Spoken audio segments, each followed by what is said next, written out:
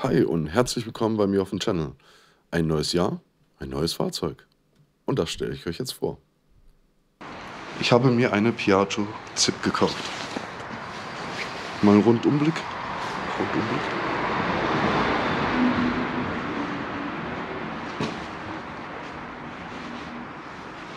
Ja, im besten Zustand ist sie nicht. Was habe ich mit der Zip vor? Naja, erstmal komplett, komplett umbauen. Verkleidung kommt weg.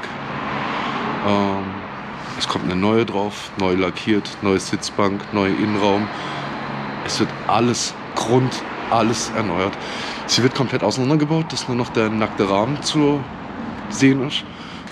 Als erstes fangen wir an, indem wir die Stoßdämpfer neu lackieren. Das ist schon im perfekten Zustand, kein Rost, kein gar nichts.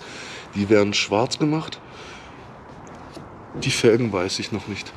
Und jetzt zu was Schönem. Guck mal auf die andere Seite.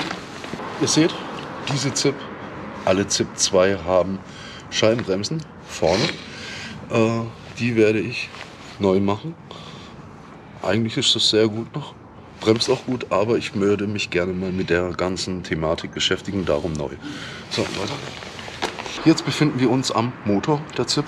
Ein, seht ihr das? Kann man richtig reingreifen. Ja, äh, da haben sich die Vorbesitzer was Lustiges dabei gedacht. Vollidioten sage ich dazu nur, aber egal. Es ist ein Hyper 2 Kurzblock. Äh, sehr geil. Innen gelagert. Und ein bisschen weiter hoch.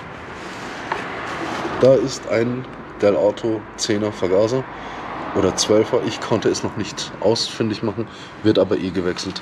Der Reifen ist bei der alte Zip gerade mal so. Bei der neuen Zip hat er 120 komm mit. So, und das ändert sich bei der neuen Zip. 100, 120, 70, aber es bleiben 10 Zoll Felgen. Hinten vorne 10 Zoll. So, Auspuff. Was für eine Tröte bei einem Zweitakter. Ja, das ist ein luftgekühlter Ihr seht es hier. Ein luftgekühlter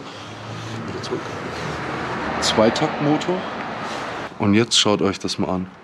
Viel schöner gelöst als bei der alten Zip. Ja. Das ist der E-Starter. Äh, Abblendlicht. Normales Licht. Blinker. Sehr viel geiler als bei der. Also das Ganze hätte viel besser gelöst als bei der alten Zip, finde ich. Und so sieht das Cockpit aus. Ehrlich gesagt nicht wirklich berauschend und schön, aber naja. So, und jetzt kommen wir mal zum Gesicht der ZIP. Ja, die ZIP 1 finde ich persönlich kultiger, schöner, aber ich wollte was moderneres, was neueres mit Scheiben und so weiter. Also Scheibenbremsen und so weiter. Ähm, ihr seht ja, die ist in einem richtig, richtig schlechten Zustand, aber mit viel Arbeit, einiges an Geld und an Spaß wird sie wieder fit gemacht. Der Zustand ist auch dementsprechend nicht wirklich gut.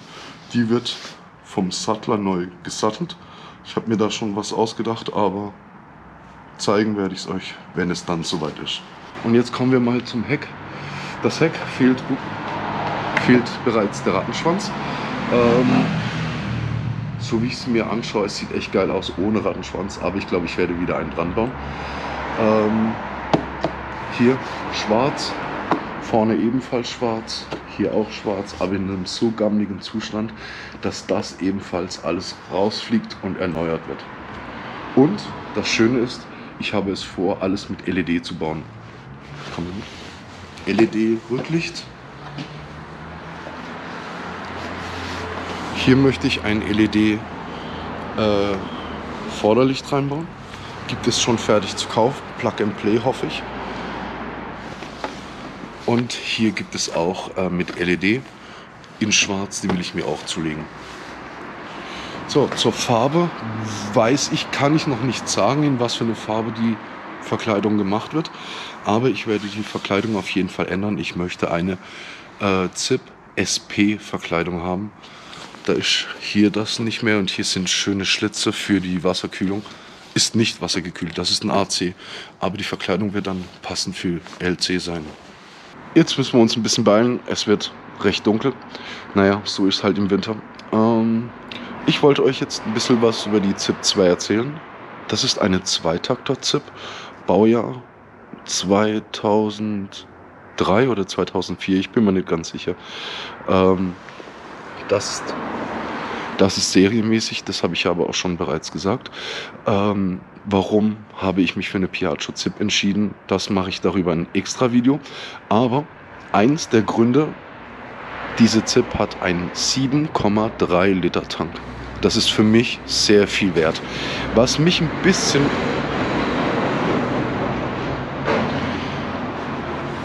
Was mich ein bisschen an der ZIP stört, dass sie weiterhin nur 10 Zoll Reifen hat, aber ich habe da was vor und darum sind die 10 Zoll Alternative für mich hm, besser. Was mir persönlich sehr gefällt, obwohl Standardfelgen sind, sind sie schön. Schöner als bei der ZIP 1. Meine hat ja, wie gesagt, einen Zweitakter-Motor. Die gibt es natürlich auch als Viertakter. Ich habe mich bewusst für Zweitakt entschieden. Ähm, ich wollte nicht auf Abenteuer gehen. Vielleicht passt der Viertakter Kabelbaum nicht mit dem neuen Motor, den ich verbauen will.